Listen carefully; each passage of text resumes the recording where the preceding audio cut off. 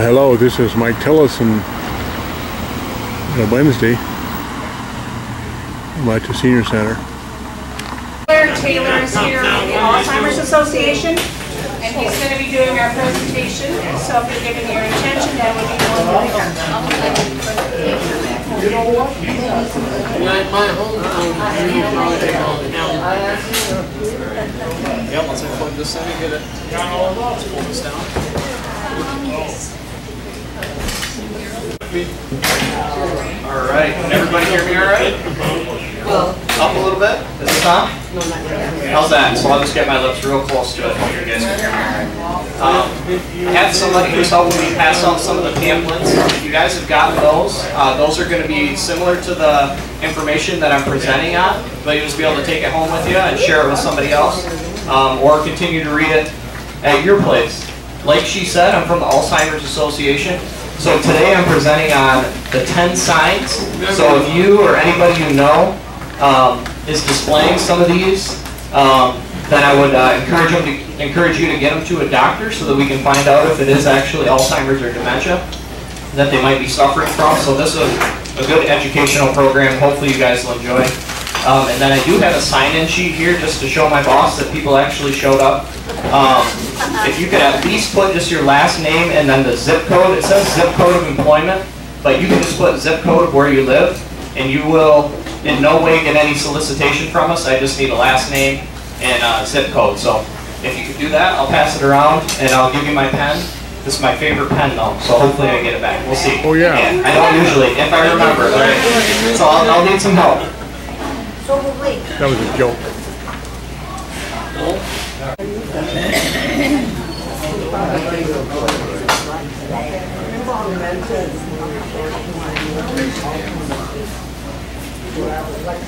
Did everybody get a pamphlet that needs one?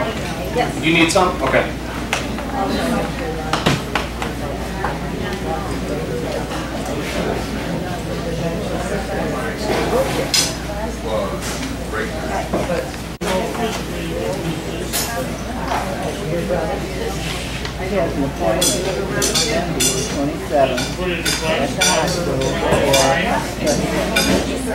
All right, well, I'm going to get started. Um, so my name is Taylor Kramer. I'm a program coordinator with the Alzheimer's Association. And this is making funny noises or is it okay? Um, so part of my job is traveling to different facilities and giving what we call education programs. So it's just a way of getting general knowledge about dementia or Alzheimer's out to the public. And so like I said, today is uh, knowing the 10 signs and the importance of early detection. So I'll just go ahead and get started. I'm a pretty informal person, so if you have a question, you can just yell it out at me, and I'll try my best to answer it. Otherwise, I can talk uh, with you guys at the end.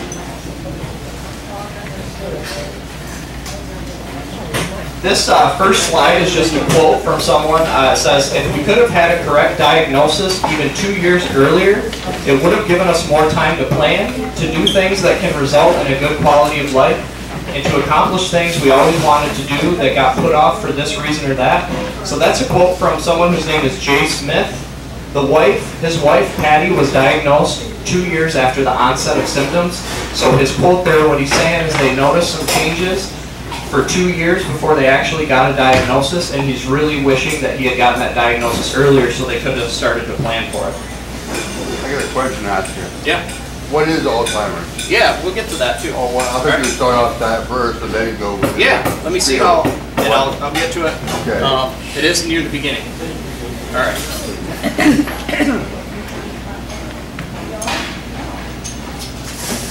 All right. So you had ask, what is Alzheimer's? Yeah. Yeah, so Alzheimer's is a form of dementia. A lot of times people um, use those words interchangeably, which is okay. Um, but dementia is the main term. Alzheimer's is the most common form of dementia that falls under that umbrella term of dementia. And so uh, if someone sometimes says, well, I have a dementia diagnosis, they don't know what kind of dementia, um, then that may be because the diagnosis hasn't gotten quite specific enough yet to determine what actual kind of dementia it is, but Alzheimer's is the most common, so you're going to hear about that one the most often. Yeah. What's, what's the difference between dementia and Alzheimer's? Yeah, so Explain Alzheimer's- that to me, please. Yeah, so Alzheimer's is just a form of dementia. So dementia is the main term, and Alzheimer's is just a form of that, Form of what? of dementia. All right. Next slide is Alzheimer's disease versus typical aging. We're going to look at some myths and some realities. So a myth would be that having a little touch of dementia is a typical part of aging. A lot of people can think that as you get older, dementia is just common with age, um, and at times it is, but there's a difference between some memory changes that take place normal, normally, and then those that are due to dementia. So as we age, many of our physical capabilities, including memory, diminish. But having a harder time remembering some things is very different from having a form of dementia like Alzheimer's disease. Here's your slide, sir. So what is Alzheimer's disease? Uh, it is a progressive disease of the brain that destroys brain cells. Many people have trouble with memory loss, but it doesn't always mean that they have Alzheimer's disease. In fact, most people do not. But it is best to visit a doctor to determine the cause of the memory loss symptoms. So if you know of someone who's maybe experiencing some memory loss, that's why we always push them to go to the doctor because it could even be something as simple as just maybe some medication reactions or things like that too. And so that's why we seek that diagnosis. Hello. So now we're going to talk about risk factors for Alzheimer's disease. The primary risk factor is age. So that just means that the older you get, the incidence is higher, and more specifically in women, but that's really just due to the fact that women live longer.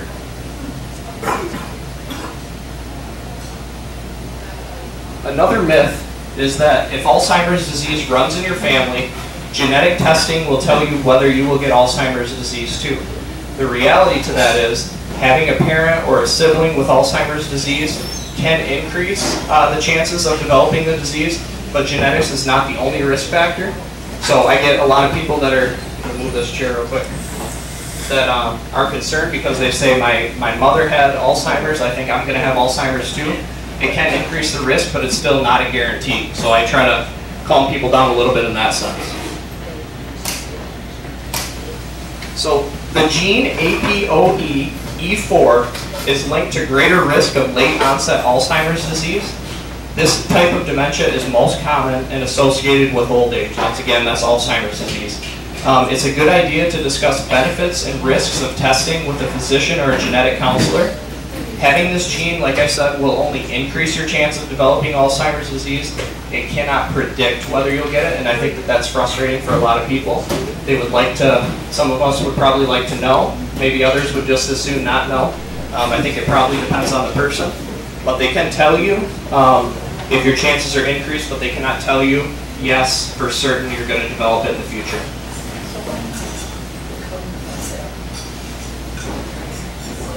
Body-brain connection. Brain health comes from a healthy body, learning new things, healthy eating, and an active social life. And that's why I like coming to facilities like this because I think just being here, you're engaging in social activity, and that's really important. Um, risk for Alzheimer's disease or vascular dementia is increased by a damaged heart or blood vessels. Diabetes in midlife can lead to Alzheimer's disease decades later, and there is a strong link between serious head injury and risk for dementia. So what I would focus on with that slide is that um, risk for Alzheimer's disease or vascular dementia can be uh, increased due to poor heart health, so we need to make sure that we're doing things to continue to take care of our heart. The rule is what's good for your heart is good for your brain, so that's just a good rule of thumb. What, excuse me, what, what does the letters AD stand for? I'm sorry, Alzheimer's disease. Oh, Yep. I'm sorry, okay. No, that's okay. Now we're moving on to the 10 warning signs, so this is the meat of the presentation. Number one, memory changes that disrupt daily life. So examples of that could be forgetting something that uh, was recently learned, asking the same information over and over, repeating oneself, uh, relying on memory aids or family members for things that people used to handle alone. And again, not just one or even a couple of these, we're covering 10 of them, is not going to be a clear indicator, but I just want to give people an idea of what it may look like, and if there's a lot of these boxes that are being uh, ticked off, then um, it may be something that needs to be looked into. We're probably going to all have examples of where we've struggled with some of these, so I don't want people to get too concerned. Number two is challenges in planning or solving problems. So that could be problems developing or following a plan. Problems working with numbers, math can start to get a little more difficult. Problems following a familiar recipe, so an example could be someone who's made the same batch of cookies or the same apple pie their whole life, and they always follow the same recipe, and if that starts to become difficult, that could be a sign. Uh, difficulty keeping track of bills, that can also be related to, um, you know, maybe some of the math is getting a little more confusing, things like that. Uh, challenges concentrating, or even taking longer than before to do common tasks. Number three is difficulty completing familiar tasks.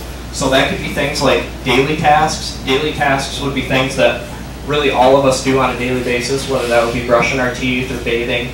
Um, so if there starts to be some difficulty completing those things, um, trouble driving to once familiar places, problems managing a budget at work, or difficulty remembering the words or the rules, I'm sorry, of a favorite game.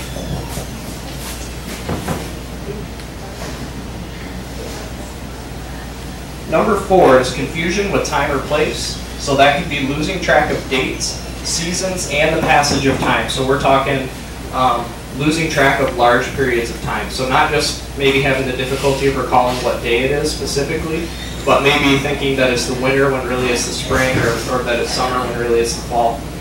Um, forgetting where one is or how one got there.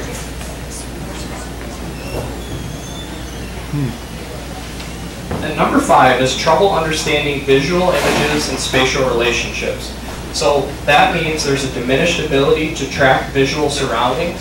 So that could uh, include difficulty reading, trouble judging distance, problems determining color or contrast. I think we've probably all heard of people, excuse me, who um, have dementia and they can no longer drive safely. A lot of times, um, at least for me, I assumed it was because they were forgetting how to drive. So that meant they were accidentally pushing the brake when they needed the gas. That's actually not the case. A lot of it is that their brain can no longer uh, understand the distance between intersections or the car in front of them, or maybe even um, can't pick up the color of the stop signs as easily or things like that. So I thought that's interesting information. Number six is new problems with words and speaking or writing. So problems following or joining a conversation.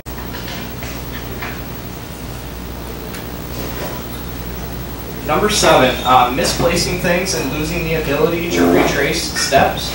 So examples of that could be putting things in unusual places. So like an example they give is a wallet and a fruit bowl, but really just trying to understand that if there's a place where someone has always put something. So I think we all probably have a usual spot where we put our keys or our wallet, um, and then for some reason finding it in the refrigerator um, could be could be uh, an idea of what that looks like. Uh, having increasing uh, difficulty retracing steps to locate a missing item. So not only missing an item, but just not even being able to recall when the last time they had that item was. Um, and this can often look like accusing others of stealing. So that can be uh, hard for some people to take because you know we're all honest people here, and so it'd be difficult to uh, get accused of stealing if that's something that we've never done before. And really, that's just because in their mind, um, they're so certain that they've followed their usual routine of putting things away, and if they haven't, then what choice do they have but to think that maybe somebody stole something from them, right? So if that, if you ever get accused of stealing and you didn't, don't take it too personal. But if you did steal, you should give it back. Uh, number eight, uh, decreased or poor judgment. So changes in decision making and judgment, maybe poor judgment with money. So that could look like giving large amounts of money to telemarketers. I'm sure we all get harassed by telemarketers quite a bit. Um, so maybe uh, before someone would just have no problem hanging up on those people. Now maybe they're starting to think, wow, those deals or whatever they're talking about sound pretty good. Uh, maybe I'll give them some money. Uh, spending more impulsively, so not thinking about it so much and just spending large amounts of money. Um, or wearing clothing inappropriate to the weather or season, so wearing shorts in the winter um, or, or a heavy jacket in the, in the summer. Except for Florida. Right. And number nine, withdrawal from work or social activities. So this might be uh, something for you guys to keep in mind. I assume there's a lot of activities that go on at, at this facility. So if you're noticing that someone is uh, withdrawing from certain hobbies or social activities, uh, work projects, family gatherings. So if there's somebody um, that you see who used to be right in the middle of every conversation or every activity, and now all of a sudden they don't seem so comfortable in those settings anymore, that could give you an idea that maybe something's going on. Um, losing track of a favorite sports team, somebody always follows the Tigers for the last 50 years and now they just have no interest, could also uh, be a hint. Forgetting how to engage in a favorite hobby, um, and avoiding social situations. That, that could be a clear sign if someone is just no longer comfortable in those situations because maybe the room is getting too loud and so they don't know how to communicate um, properly in a room like that anymore, then that can uh, definitely give you an idea too.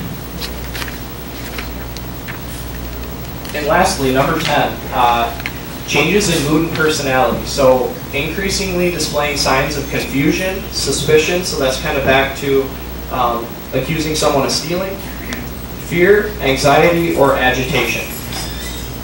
So any mood and personality changes that just aren't normal to, to how they usually are. So what should I do if I see some of the 10 signs? Uh, you're going to want to talk with people about what you're seeing and thinking. So if you have a close friend, don't just assume on your own. Maybe go talk to some of your other friends and see if they've noticed some of the similar things so you guys can bounce ideas off of each other. Um, encourage the person that you're concerned about to get to the doctor. We want to work on that early diagnosis. And then get the right treatment as soon as possible. That's really crucial, right? We all want to know what we're up against. It can be very scary to have to seek out a diagnosis. Some people would just as soon not know and maybe push it under the rug. But we don't typically do that with other illnesses or diseases, so we really don't want to do that with Alzheimer's disease either.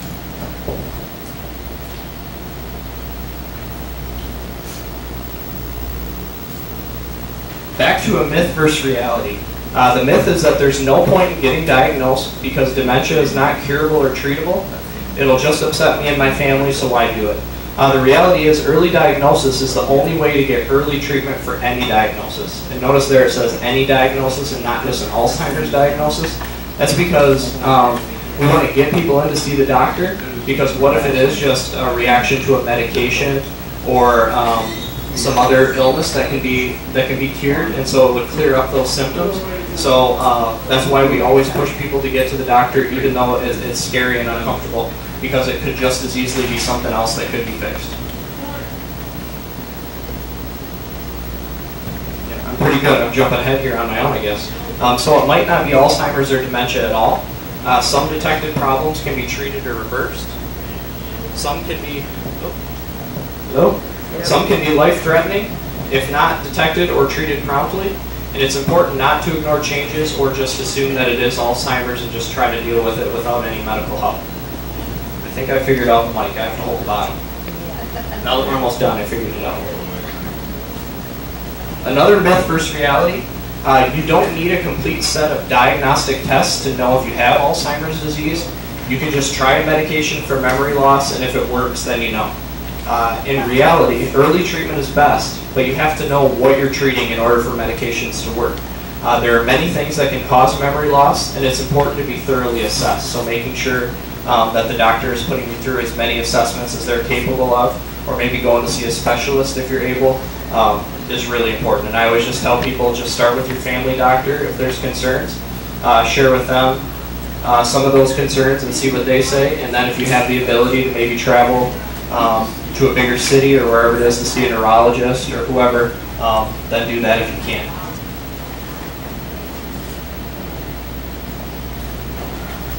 Diagnostic steps can look like this. They'll take a history from the patient, close family, and or friends. And that's why it's really important to have uh, family or friends involved because they may notice some changes that the person themselves are not noticing.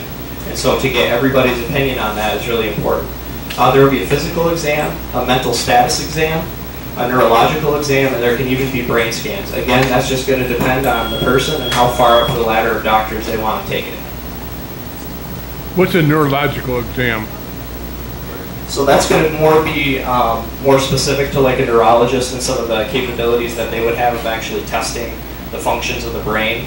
Whereas a family doctor is going to be a little more limited in what they can do. So it may just more be questionnaires or seeing if there's um, maybe any mental illnesses that it could be attributed to and things like that. Just a more complicated exam that will give you a better idea of what you're up against. Um, but not everybody continues to take it up the ladder of doctors. Do you have a You're question? gonna be talking about medic, different types of medications to take. I'm- Every, prescribed or unprescribed, non-prescribed. As far as I what, mean, there's one example, Prevagen on, on TV. Tell me about that. what was that medication? Prevagen, Okay, it's Yeah. an extract from jellyfish. okay.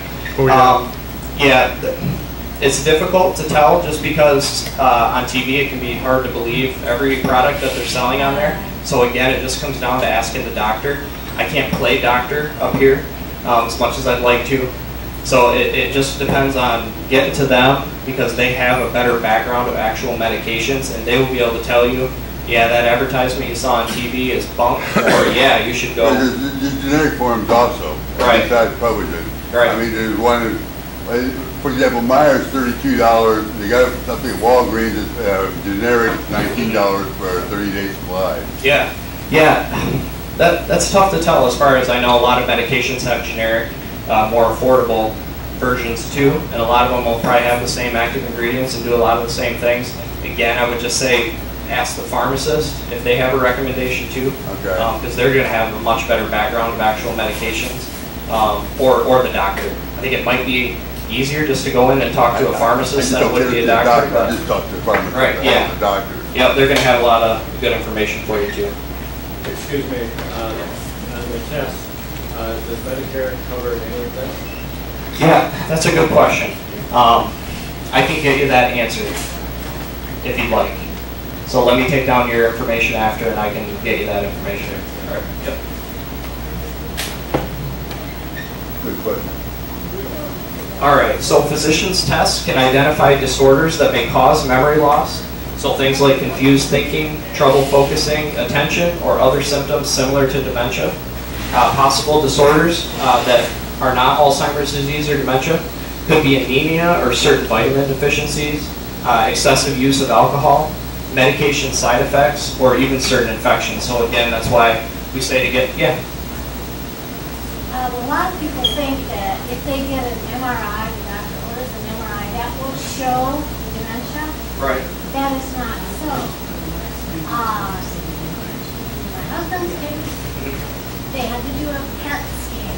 The Yeah. PET scan was a different kind of scan, but it showed what we needed to know. Right.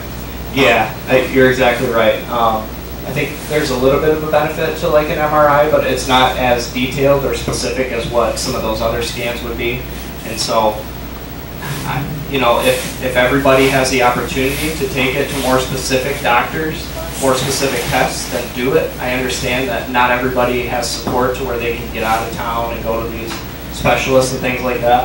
Um, and so sometimes people are forced to rely on whatever tests they can um, be given. But yeah, if you can get kind of, like I say, go up the ladder as high as you can, then then it's all the better.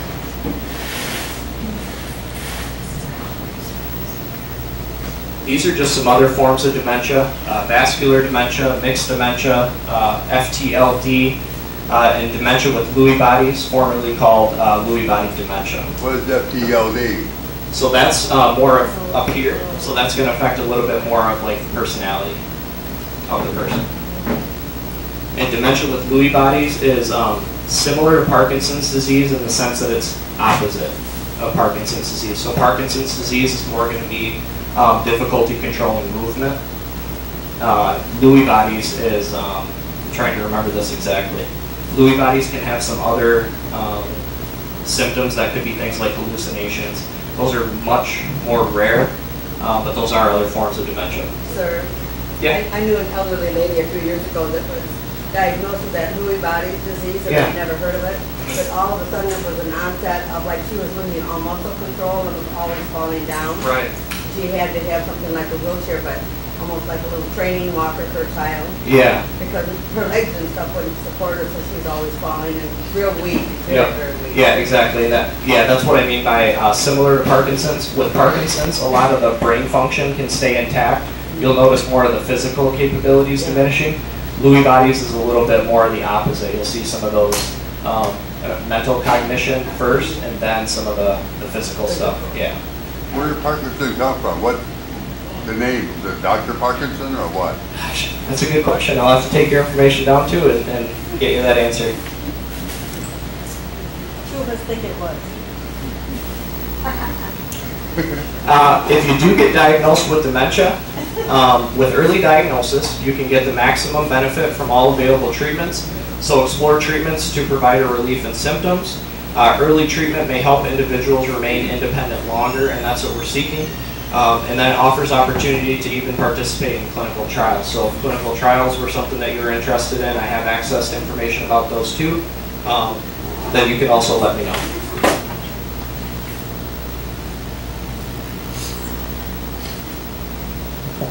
These are some medications that are available. Uh, some medications are designed to help relieve some of the symptoms, but they don't actually stop the progression.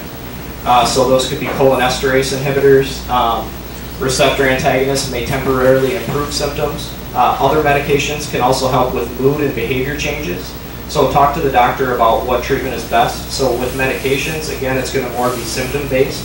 So if there's certain anxieties um, that are taking place for that person, then the doctor may look and see how to manage the anxiety, and it can actually then in turn improve memory function for a little bit as well.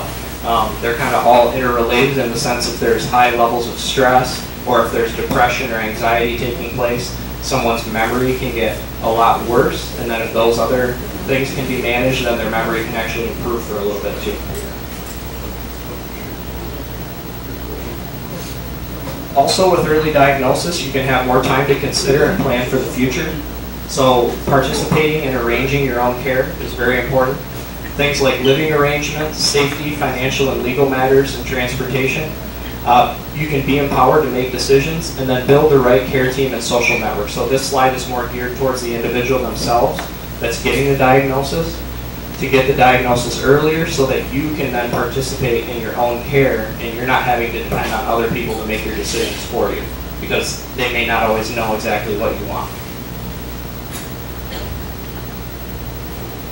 Plan for the future, so seek legal advice and services, identify and complete legal documents, make plans for medical and health decisions, uh, make plans for finances and property, and then naming a person to make decisions on your behalf when you no longer can is important. So obviously somebody that you trust. And these are just different ways to contact us. Um, a lot of the same information is going to be on the back of the pamphlets, or I do have a couple of my contact cards um, that I can pass out to you uh, as well. Just feel free to come up and speak with me or grab one. I think that's the last slide. So I appreciate you guys having me. Are there any other questions or stories or comments from anybody? Yeah. Nowadays, sometimes your doctor, I just went to my doctor for physical, and they give you a dementia test. Okay, yeah. Just with the regular physical? Mm-hmm. Okay. Yeah, so she said you, you just went for a regular exam and- well- and they did well a, Test, and they, they do a small test and, and it helps determine whether you. okay. What, do you mind if I ask what the test looked like? Like, what did it Well, entail? what they do is they'll ask you, like, they'll say apple and fence. Now you remember that. Then Okay. She'll start saying Yep. three numbers, three numbers, and then she'll say four, and want you to repeat them back backwards, and then she'll come back and say, ah, now what was that I told you to begin with? Right, yeah. Yep, so that would be, yeah, go That ahead. mistake Medicare is requesting that that be done, Okay, that would make sense, yeah. Yep. because I had it last year. Okay, yeah, so I think that that must be uh, becoming more common, and I think a lot of it too could be uh, related to the fact of there's so many baby boomers that are all aging at the same time that they expect there's going to be a major influx and a large population of people all suffering from Alzheimer's or dementia at the same time, and so they're worried about how that's going to affect some of the medical care and things like that too. Is there anything else? All right. Well, like I said, I'll be here uh, for a couple minutes packing up, so if you'd like to come speak with me, you can. And I appreciate you guys for having me. Thank you.